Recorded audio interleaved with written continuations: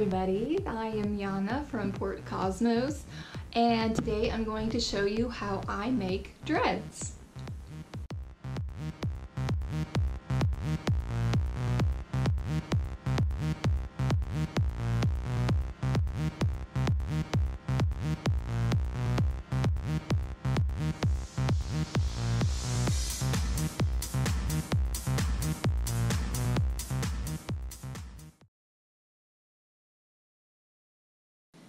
Next, you're going to want something like a piece of fabric, kind of like this, long, that you can tie between um, two table legs or two chair legs.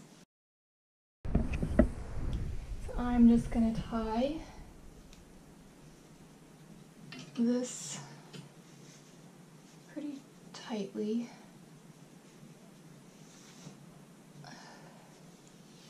Just give it a little bit of room here because that's what we're gonna t we're gonna hang the hair on here.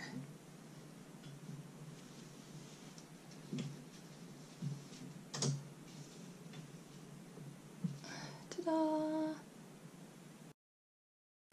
The hair that I like to use is Kanekalon hair. It's called Kanekalon hair. And you can get it in a variety of colors, and I recommend getting it online um, from like beauty supply stores. And what I recommend is getting the kind with the uh, texture. As you can see, this has some texture to it. Some of the hair, the synthetic hair that you can get is slick and it's harder to work with. This has texture so it has more grab to it and it just makes it a lot easier. As far as the size of the dreads that you're going to do depends on how much hair you're going to um, take from here. I took that and we're going to wrap it around the, the fabric that I tied together and it's going to be double that. So it's going to be about like that. So that's the size that I'm going to do. So it's going to be like probably a medium, medium small width dread. I'm going to start by looping my hair around, as you can see, around the fabric here. You get in a little closer. You can see. And then,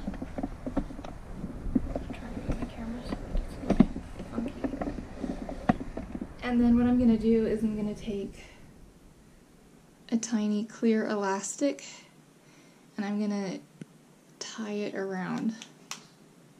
You can take the hair tie off after if you don't want that on there.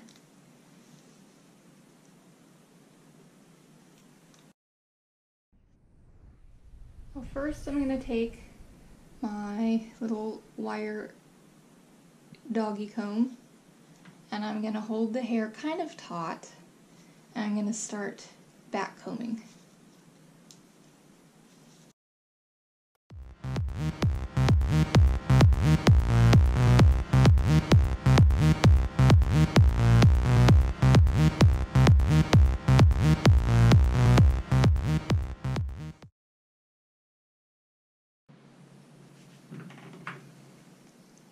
So you can take your uh, wire pet brush and you can start ratting it because what you really want, and you want to get it kind of on both sides, or all sides, whatever.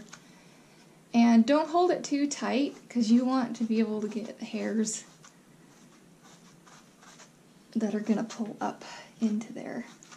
I don't know how well this is going to work with the um, graduated color. Just really, the biggest thing is to just make a huge rat's nest. That's what we want to do.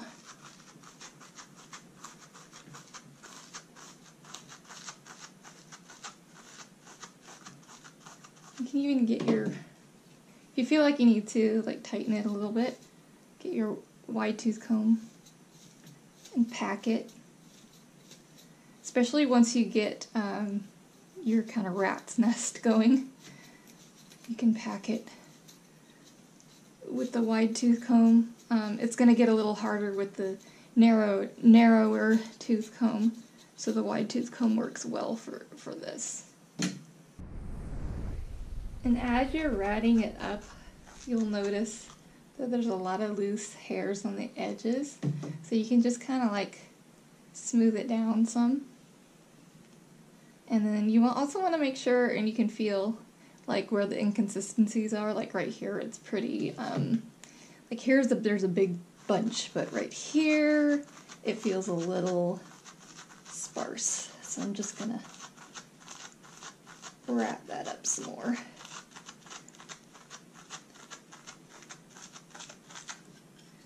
And yeah, like I said, do it on both sides all around. So just really get ratted up. You want it to look kind of like a bushy squirrel tail or something.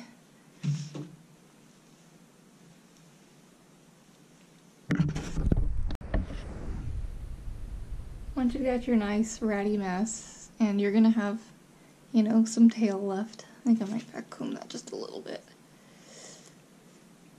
But you're gonna have some, and just keep in mind that whatever length of hair that you get, you're going to lose a lot of the length.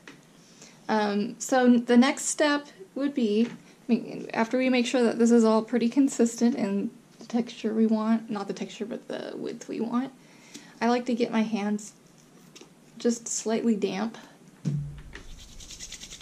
And this is where we start the palm rolling.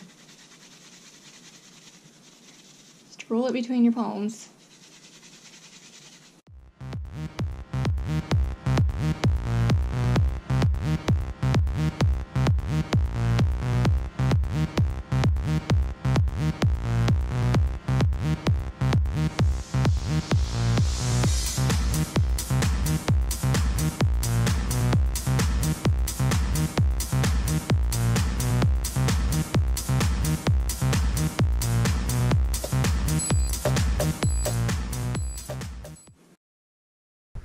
So next you're going to need a very damp washcloth or hand towel. I prefer a washcloth. A towel to lay on your floor to protect your floor from getting wet. Um, a squirt bottle. And you will need a hair straightener. Okay, I've got my flat iron going. And now what I'm going to do is I'm going to use my thumbs and I'm going to roll in one direction. I'm going to press down with my thumbs and I am going to roll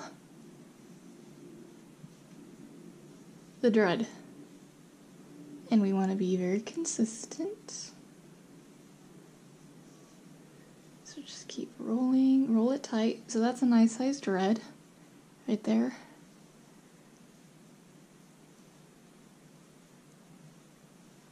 And then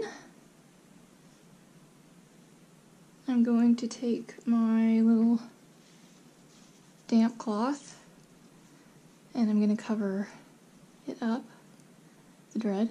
I don't, I'm not going to get the, um, what you call it, the iron on that because that'll just snap off because it'll melt.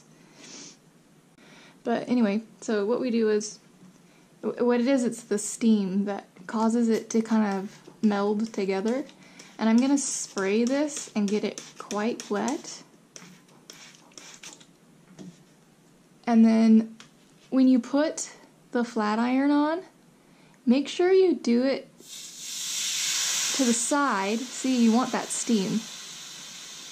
Do it to the side so that the steam rises because otherwise if you do it like on the side, it can the the steam can rise and it can burn your thumb. This thumb here. And you don't want to do that. So we just want to go along here.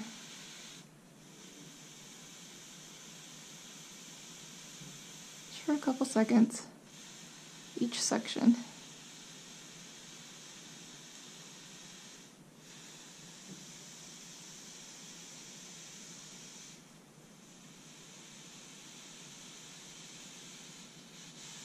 I'm getting to the end of my cloth. Now, this is where a hand towel might be better than a washcloth, but I just do not like do not like the big wet cloth.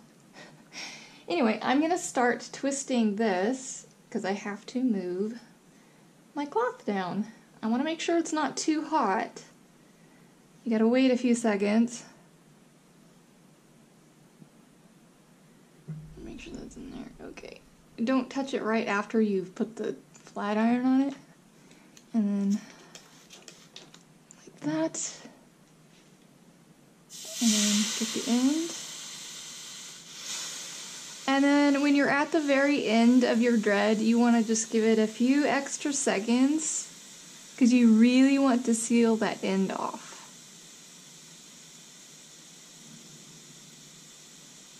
See how the steam's coming up? That's good. After my dread has dried, you can either keep it like it is, or what I like to do is just go over it really quickly to soften the edges a little bit because they get a little bit stiff. Just soften it a little bit with some palm rolling. And then untie and pull it off.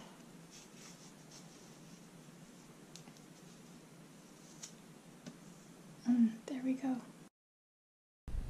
And now I've got my little dread that I can put into my hair with a little clip. And it's done.